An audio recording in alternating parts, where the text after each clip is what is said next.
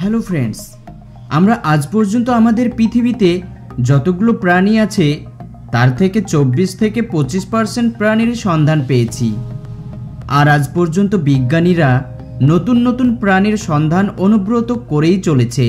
আর বিজ্ঞানীরা নতুন নতুন প্রাণীর সন্ধান করতে গিয়ে এমন এমন নতুন নতুন প্রাণীর সন্ধান পেয়েছে, যা দেখে আপনার মাথা পুরোপুরিভাবে ঘুরে যাবে।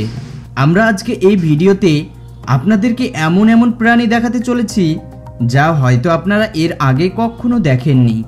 কারণ এইসব প্রাণীগুলোকে বিজ্ঞানীরা কিছুদিন আগেই ডিসকভার করেছে। তো চলুন দেখে নেওয়া যাক এই সমস্ত প্রাণীগুলোকে। নাম্বার ওয়ান সুসবিল আপনি হয়তো এইরকম প্রাণী এর আগে কখনো দেখেননি। এই পাখিটির প্রথম দেখা মিলেছে ওয়েস্টার্ন আফ্রিকাতে নীল নদীর তীরে। আর এই পাখিটি আফ্রিকার নীল নদের তীরে আশেপাশে বসবাস করে। এবং বেশিরভাগ ক্ষেত্রে সেখানেই দেখা যায়। এই পাখিটির উচ্চতা প্রায় পাঁচ ফিট হয়ে থাকে। আর এই পাখির পাখনা আট ফুট পর্যন্ত ছড়াতে পারে। তাছাড়াও এই পাখির ঠোঁটকে আমাদের এই পৃথিবীতে যতগুলো পাখি আছে, সব পাখির ঠোঁটের চেয়ে সব থেকে শক্তিশালী হিসেবে মনে করা হয়। তাছাড়াও এই পাখির ঠোঁটকে আমেরিকার কমিক্স বইয়ে এলিয়ানের মাথার মতো ব্যবহার করা হয়েছে। Number two, পাঙ্গুলিন। পাঙ্গুলিন একটি আনইনভিজিবল অ্যানিম্যাল যার পুরো শরীরে অনেকগুলো অদ্ভুত ধরনের লেয়ার আছে, যার কারণে এই প্রাণীটিকে দেখতে অনেকটা শুকনো পাতার মতো মনে হয়। এই প্রাণীটির শরীরের উপরে থাকা লেয়ার বা খলসের ওজন তার দেহের তুলনায় টোয়েন্টি পার্সেন্টও হয়ে থাকে। তাছাড়াও যখন এই প্রাণীটি তার বিপদের কোনো আশঙ্কা পায়, তখন তার লেয়ার বা খলসকে মুড়িয়ে ফেলে এবং তার মধ্যে ঢুকে যায়। তাছাড়াও এই প্রাণীর শরীরের উপরে থাকা লেয়ার এতটাই শক্তিশালী হয় যে বন্দুকের গুলিও ভেদ করতে পারে না। আর এই প্রাণীটি লম্বায় ওয়ান পয়েন্ট থ্রি ফিট লম্বা হয়ে থাকে।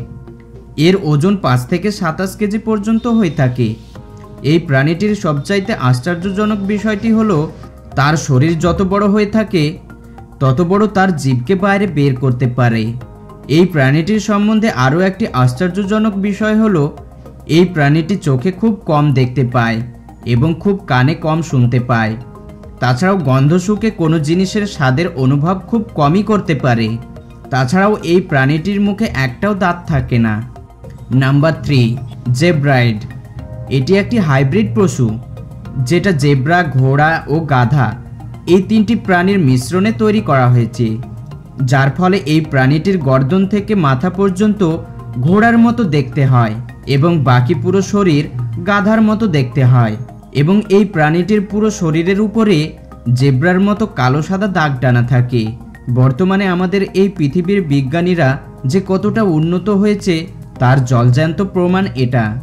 Number four, the saiga antelope. বন্ধুরা, এটা এমন একটি প্রাণী যার পুরো শরীর হরিণের মতো দেখতে হয় এবং এর সিং জেব্রার মতো।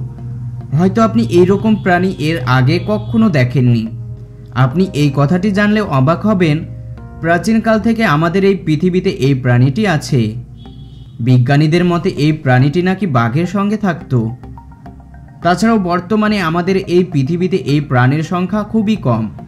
কারণ দু হাজার পনেরো সালে ব্লাড পয়জন নামের রোগে এদের অর্ধেক আবাদি মারা গিয়েছে। Seneca white deer. এটা তো আমরা সবাই জানি হরিণ অতি সুন্দর এবং শান্ত স্বভাবের হয়। আর হরিণের আরও একটি প্রজাতি হলো সেনেকা হয় ডেয়ার। হয়তো আপনারা এই ধরনের হরিণ স্যান্টাক্লোজের বাহন হিসেবে দেখেছেন। এই হরিণ অনেক সুন্দর এবং শক্তিশালী। তাছাড়াও বর্তমানে এদের সংখ্যা খুবই সীমিত।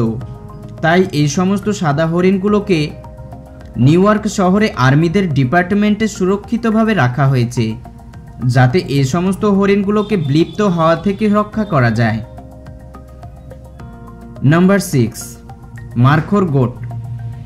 এবার যে ছাগলটা আপনারা দেখতে পাচ্ছেন, এটা যে কোনো সাধারণ ছাগল না।